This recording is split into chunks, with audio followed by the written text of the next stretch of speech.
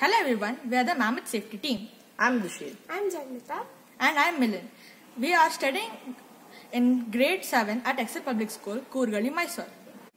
The theme we have chosen is energy and transportation, and the problem statement is to innovate a system that could improve rider or driver safety and prevent road accidents.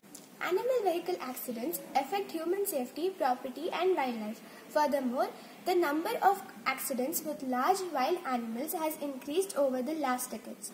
The negative effects of animal vehicle accidents and the increase in accidents promoted the intention of this project.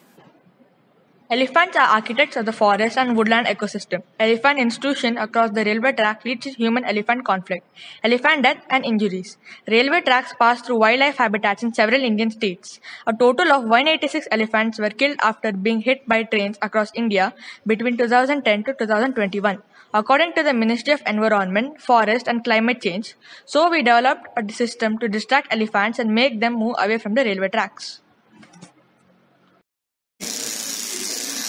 In our project, we used an RFID card, DF Player Mini and Arduino Uno. The RFID reader is placed 1 kilometer away from the elephant crossing zone, beside the railway track and speakers are placed near the elephant crossing zone. When train reaches the position of RFID reader, the reader detects the card and indicates a train is approaching and DF Player Mini plays a loud buzz of honeybees near the elephant crossing zone. As elephants are afraid of bees because they dislike being stung in the soft tissue that's present inside their trunks and around their eyes, elephants move away from the railway. If a project is implemented, we can save manpower and prevent the elephant deaths on the railway tracks, by which ecosystem engineers will be able to maintain our ecosystem. I, Janmitha, researched on case studies, analyzed the problem and solution, and I did the research document. I, Milan, I built a model and researched about Arduino Uno, RFID and sensors.